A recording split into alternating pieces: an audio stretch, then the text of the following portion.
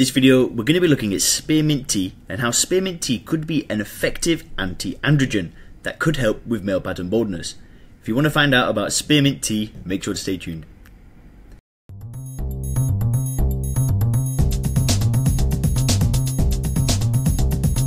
Hey guys, Leon here and welcome to the Hair Guard YouTube channel. On this channel we do tons of science-backed videos all about how you can combat hair loss and regrow healthy hair.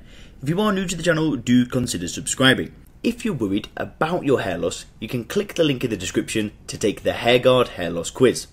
You'll have to answer a few short questions, then you'll receive free expert advice on how to combat hair loss and regrow healthy hair. It's the very first link in the description, so go and click that now. Let's get into the video on spearmint tea. Now, while spearmint is a delicious addition to foods and beverages, new research has shown it's also a powerful anti-androgen. For men with male pattern baldness, this may prove to be a new and effective natural hair loss treatment. In this video, I'm going to explain spearmint's role in the treatment of hair loss. This will include a look at the most recent research on the subject, as well as ways you can add it into your hair care routine. So first let's answer the question, can spearmint tea be used to treat hair loss? While research on the subject is still new, there are indications that the use of a spearmint supplement can help treat androgenetic alopecia. How does it work? Well, the link between spearmint and hair loss was actually made when spearmint showed to be an effective treatment for excessive hair growth in polycystic ovarian syndrome, or PCOS patients. PCOS is a condition in women that leads to elevated androgen levels, namely free testosterone. As a result, those affected suffer from cosmetic and psychological effects. Now, when spearmint was taken as a supplement, however, free testosterone levels were significantly decreased. These results were also seen in an earlier study performed in 2007 in a similar patient grouping. Now, just before we go any further, everything that we do say is backed by science, so what we'll do is we'll link these studies for you in the description. Now, you may be asking, what exactly does this have to do with hair loss? Well, in men suffering from androgenetic alopecia, the cause is believed to be a sensitivity to the androgen hormone DHT. This hormone is produced from the interaction between free testosterone and 5-alpha reductase, an enzyme.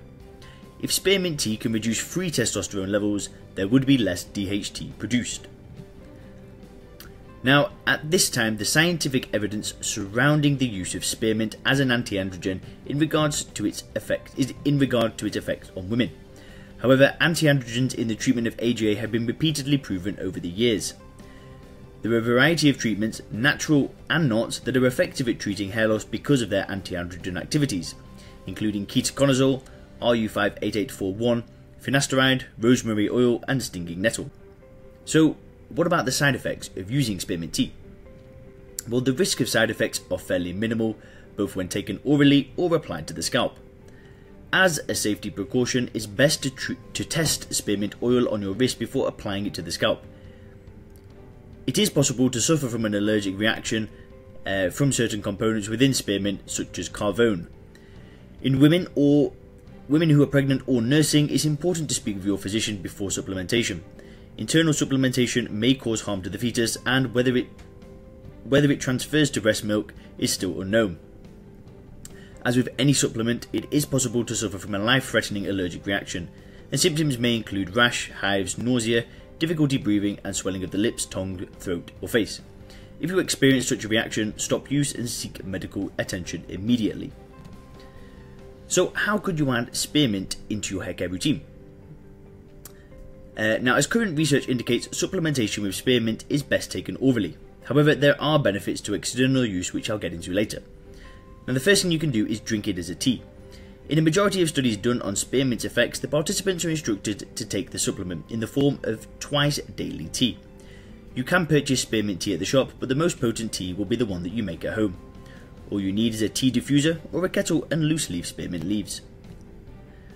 Now you want to add spearmint leaves to your diffuser Place them in a mug and pour boiling water over the diffuser. Steep them for at least 5 minutes, and to make a stronger cup of tea, keep the diffuser in while you drink. Next, you want to add a generous handful of loose leaf spearmint to a mug. Boil 1 cup of hot water in a kettle and pour over the tea leaves. You can steep the leaves for as long as you like, though we do recommend uh, a minimum of 5 minutes, and you can leave them in for longer for a stronger flavour. And now another option is to take spearmint tea as a supplement. It's going to be a much quicker way because you can take it in the form of a capsule supplement. Such supplements contain concentrated doses of spearmint and this means that you can take one or two daily to receive the same benefits as a few cups of tea. The supplement can be taken with or without food. However, if you experience any mild side effects as a result of supplementation, taking them with food can help to reduce them. And also, you could apply it to your scalp. Now, just before we talk about this, we also did a, an experiment on green tea and how green tea could actually improve hair loss. So one of our um, we got one of the hair guard team to apply it topically and drink it for seven days. So we'll link that to you in the description if you want to check that out. Now, as mentioned, spearmint oil can be applied topically with good results. In fact, not only will it act as an anti-androgen, but it can also stimulate blood circulation. Keep in mind when applying essential oil to your scalp, you must dilute it properly. Undiluted essential oil can cause severe skin irritation and even chemical burn. Now to dilute, we recommend one drop of essential oil for every 5ml of carrier oil, and a good carrier oil might be olive, canola, almond or coconut. Then to apply it to the scalp, add 10 drops of spearmint oil to 3.5 tablespoons of carrier oil.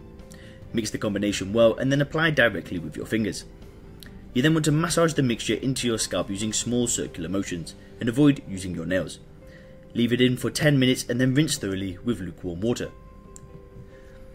Now, as research continues, it's becoming more and more obvious that many natural methods are effective in the treatment of hair loss. Spearmint is one, and its anti-androgen properties make it a possible treatment if you have male pattern baldness. Only with continued research will we be able to find out its true worth as an AGA treatment. However, it doesn't hurt to experiment with its use to see how you respond to its supplementation. So guys, that's what we want to show you today on spearmint tea. Make sure to go and check out the video with Alex applying green tea onto his head for 7 days, and I'll see you in the next video. Thanks.